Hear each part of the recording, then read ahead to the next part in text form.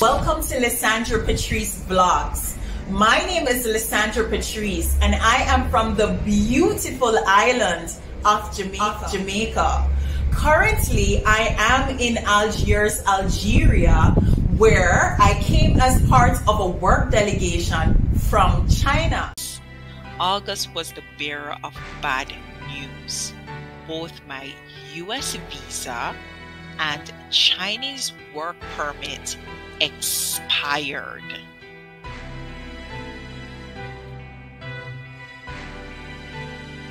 So by this time, I was in Algeria for a total of eight months January, February, March, April, May, June, July, August.